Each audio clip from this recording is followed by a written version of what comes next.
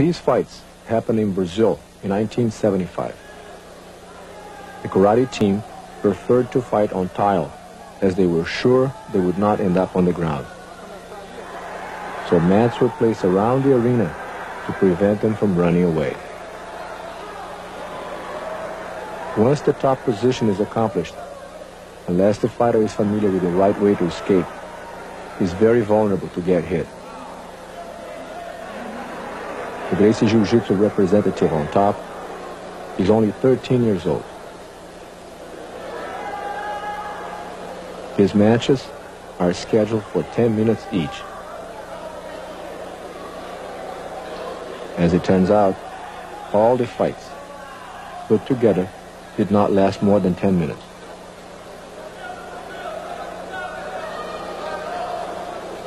To avoid getting hit on the face, the man on the bottom will turn to his back, which does not solve his problem, and he will tap out or pass out.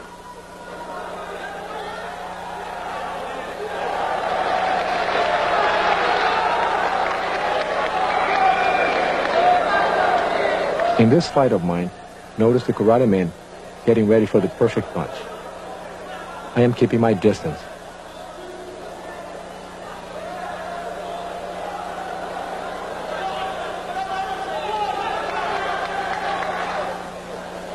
Once the inevitable clinch happens,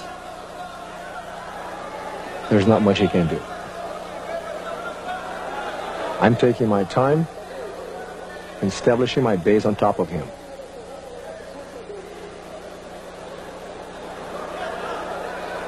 He's jumping to try to hit my head on the ground.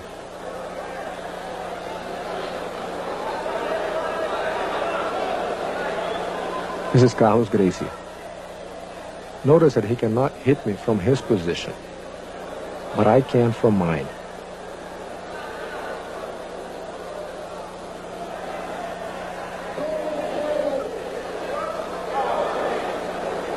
I will place one hand on the collar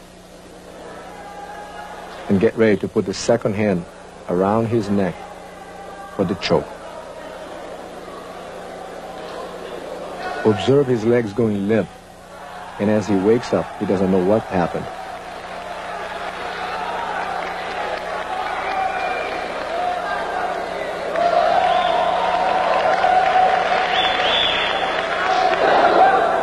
In this next match, my brother Relson dashes into his opponent maintaining a close distance to avoid getting hit.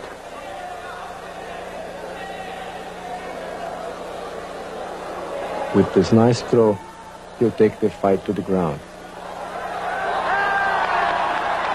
He will position himself for a series of punches.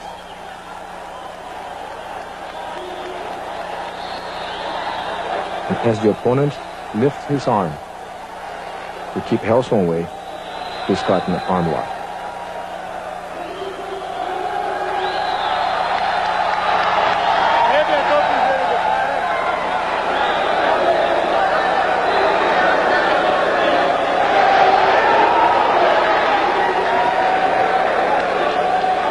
This is the Gracie Jiu-Jitsu man. Even though he gets nicked as he comes in, he manages to stay in clinch, flips his opponent, and takes the top position.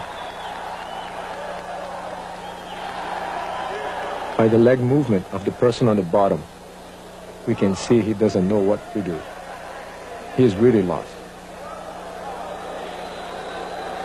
In order to not to get hit in the face, he's trying to turn around. His arm gets stuck. He managed to turn around and ended up being choked from behind.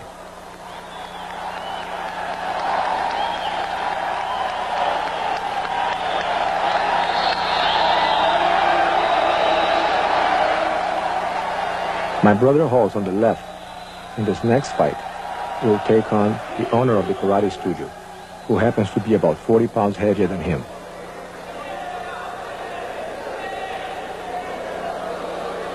Slips under the first punch and observe how easy he picks up his opponent.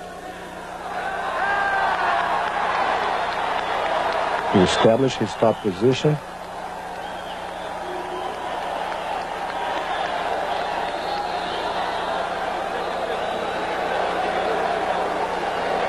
Hit the man a couple of times to soften him up.